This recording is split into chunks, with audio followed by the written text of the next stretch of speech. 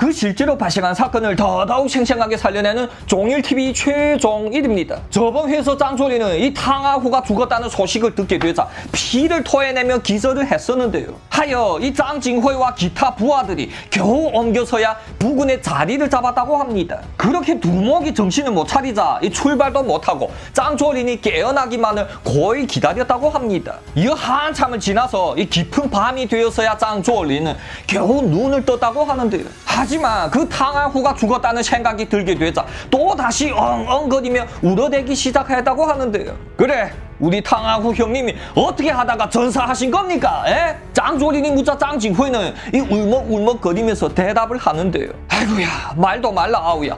탕아후 형님과 내는 이 500명의 군사를 이끌고 뒤를 막느라고 싸웠거든. 하지만 이 러시아 놈들과는 도무지 게임이 아이 되는 게 아니겠니?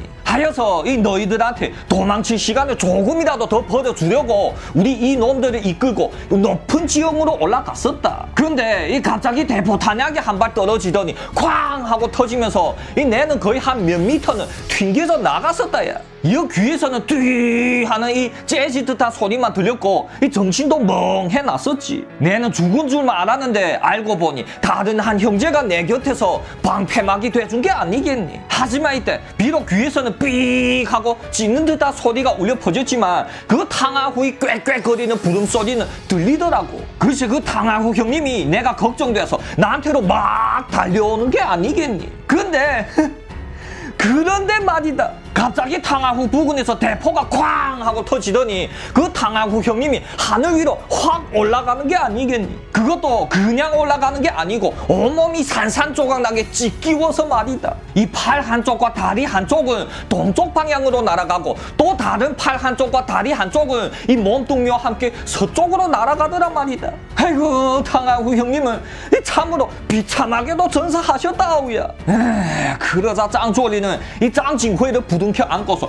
또 한참 동안 엉엉 울어대는 거였었는데요. 네, 이 탕아후가 누굽니까? 그냥 수의사였었던 짱조린이 앞에 갑자기 나타나더니 이 저런 연영성 마적대의 강바즈가 되기까지 쭉 함께 했었던 의형제가 아니겠습니까? 짱조린이 목숨을 몇십 번이나 구해줬었고 또 얼마나 많은 큰 공을 세웠었죠. 그 탕아후의 공로는 참으로 말로 다 할 수 없을 정도였었는데요. 그렇게 한참 동안 이 엉엉거리자 그제야 조금 제정신이 생각이 드는데요. 자, 우리 우는 건 이제 그만하고 먼저 목숨부터 보존합시다. 그래야 나중에 이 탕아후 형님이 복수를 제대로 해줄 게 아니겠습니까? 그렇게 그들 16명은 이 말을 타고 숲속에서 나오는데 말입니다. 여기다!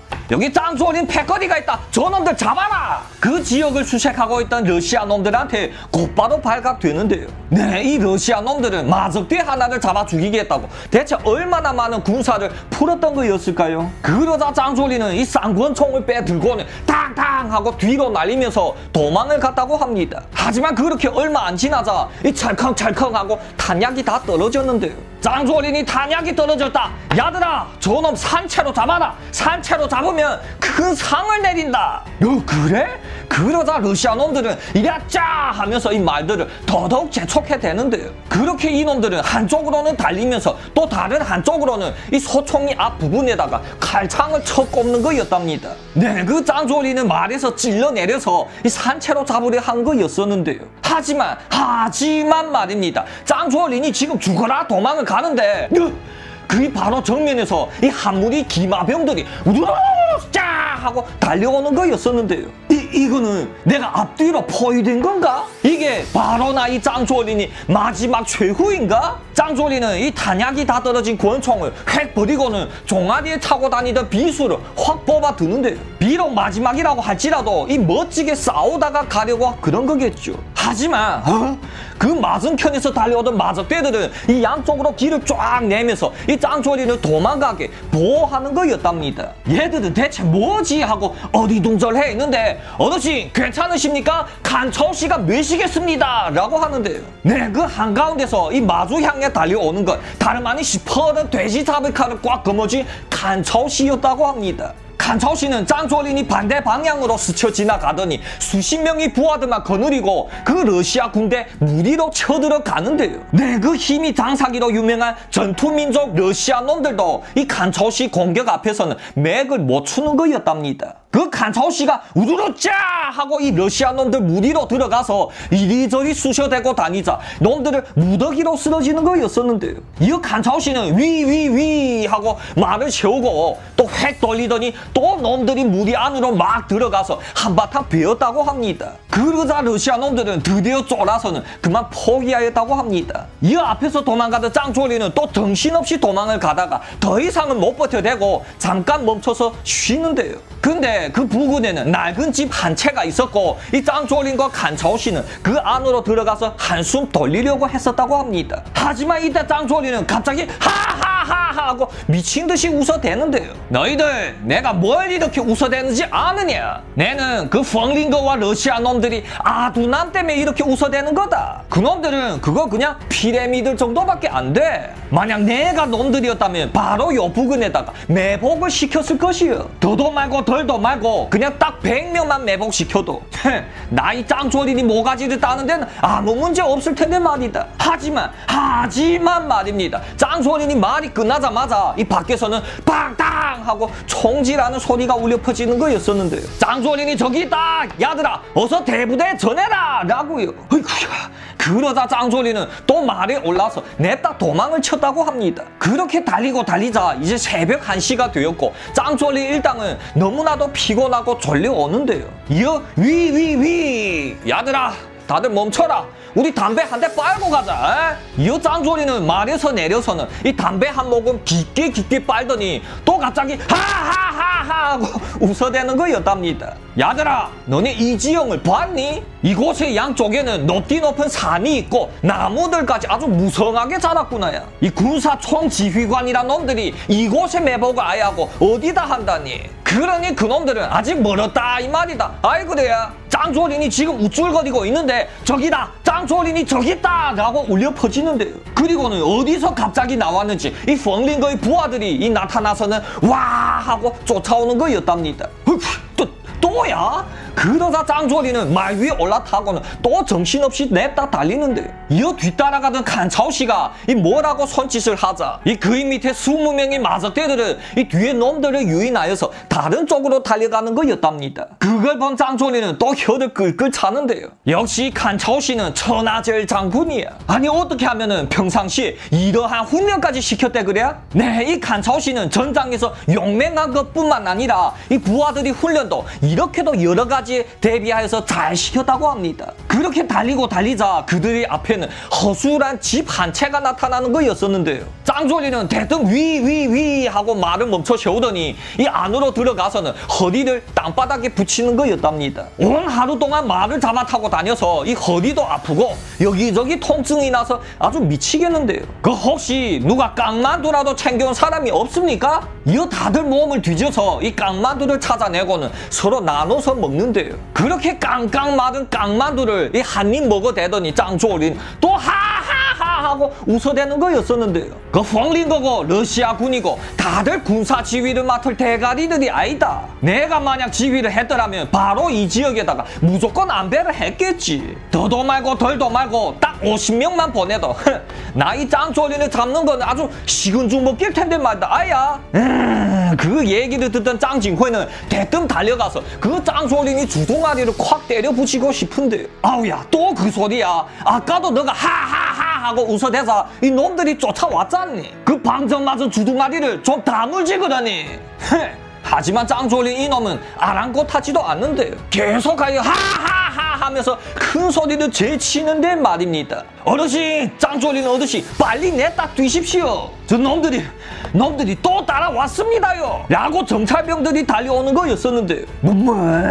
그러자 밑에 부하들은 다들 원망스러운 눈길로 짱조리를 째려보는데요. 저 두목이란 놈이 짹짹거리기만 하면 놈들이 죽어라 달려드니까 말입니다. 이 짱조리도 이 먹다만 깡만두를 냈다 버리고는 부랴부랴 일어나는데요. 뭐야 이 놈들이 어떻게 우리가 도망가는 노선을 이렇게도 잘 안다냐? 설마 우리들한테 뭐 간첩이라도 있는 게 아니야? 에라야 모르겠다. 야들아 탄약들 잘 장전시키고 전투 준비에 들어가라. 더 이상은 이 힘들어서 못 도망가겠다. 놈들과 그냥 죽기 살기도 함 해보는 거다. 그들은 다들 몸을 잘 은폐시키고는 이 소총들을 꽉 잡아서 놈들 쪽으로 조준을 하는데요. 그렇게 딱 기다리고 있자 저 멀리서 뜨그럭 뜨그럭 하고 한 무리 마적대들이 달려오는 거였답니다. 그런데 이놈들은 러시아의 군복을 입은 게 아니라 보통 마적대들이 복장이었었는데요. 또한 그 제일 앞에서 이 대가리를 서면 막 달려오는 놈이 꼬라지는 말이 아니었다고 합니다. 그 시대의 남자들은 다들 머리를 길게 길게 자리웠었는데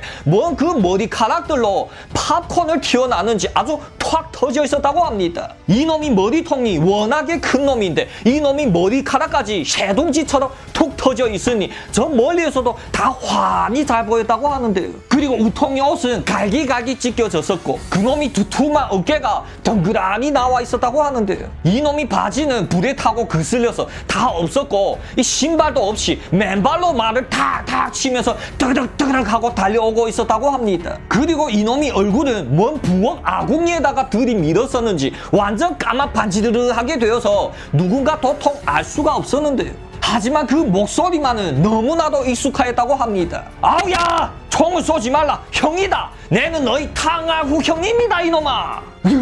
그러자 짱조리는 너무나도 놀라서 등골이 오싹해 나는데 이, 게 대체 어찌 된 일이지? 저놈 저거 대체 귀신이야? 아니면 인간이야? 분명 저번 회에서 종일TV 최종 1위는 탕하후가 죽었다고 했었는데? 네 그러면 도대체 어찌 된 일이었을까요? 사실 이거는 종일이 문제가 아니라 짱징회 이놈이 문제였다고 합니다. 저번 회에서 짱징회 이놈은 대포 탄약이 주위에서 쾅 하고 터지자 툭 하고 튕겨나갔다고 했었죠. 다행히도 그의 앞에서 다른 마적대가 이 파편을 맞아줘서 짱징회는 무사했었지만 그 툭 하고 튕겨나간 충격과 그 폭파음 소리에 의하여 귀도 멍멍하게 되었고 정신을 못 차렸다고 합니다. 이러한 상황에서 이놈은 눈앞이 탕하후를 어렴풋이 봤었는데요. 하지만 이때 그 탕하후의 주위에서 또 꽝 하고 폭발되면서 이 탕하후의 곁에 다른 마적놈이 산산조각으로 찢겨나간 걸 그게 탕하후라고 착각한 거였다고 합니다. 그때 죽은 사람은 탕하후의 최측근이 주먹이었는데 이름은 난후라고 불렀었고 그놈이 덩치와 생김새는 이 탕하후랑 아주 비슷하였다고 합니다. 하여 짱징회는 워낙에 제정신이 아니었었는데 잘못 본 거였다고 하는데 물론 탕하후도 그번 폭격에 의해 멀리로 튕겨나가서 정신을 잃은 거고요.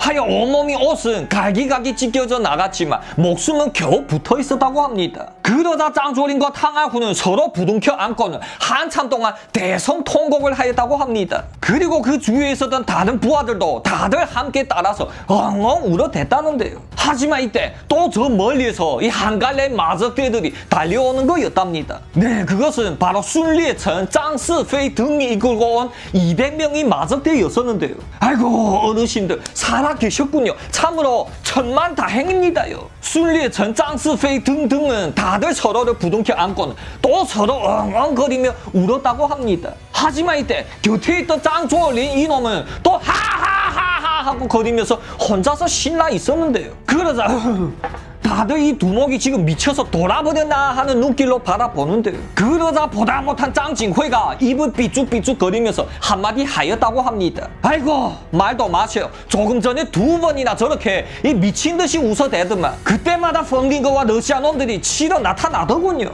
근데도 저놈은 또 저 지랄을 하는 겁니다. 아니나 다들과 짱조리는 내 다름이 아니라 그 펑딩거와 러시아 장관 놈들을 웃는 게요. 야, 더도 말고 딱 300명만 이곳으로 보내게 되면 어떻겠습니까? 나 짱조린 뿐만 아니라 우리 조직의 기둥들을 한꺼번에 다 잡을 수 있는 게 아니겠습니까? 그렇게 짱조린 이놈이 한참 동안 저절로 신나하는데 또 밖에서는 보고 하고 정찰병이 달아 들어오는 거였었는데 보고 어르신 러시아 놈들이 어떻게 알아내는지 이 다짜고짜 이곳으로 향해서 달려오고 있습니다요. 네.